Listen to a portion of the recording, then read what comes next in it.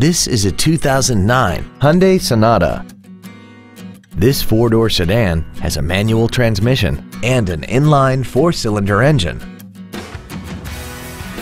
Its top features include a multi-link rear suspension, traction control and stability control systems, alloy wheels, and a tire pressure monitoring system.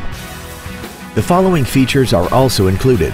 Solar control glass, cruise control, steering wheel mounted stereo controls, a leather wrapped shift knob, variable valve timing, chrome window trim, fog lamps, rear impact crumple zones, full power accessories, and an auxiliary power outlet.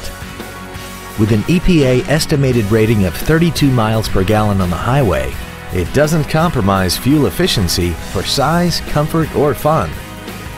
This Hyundai has had only one owner and it qualifies for the Carfax buyback guarantee.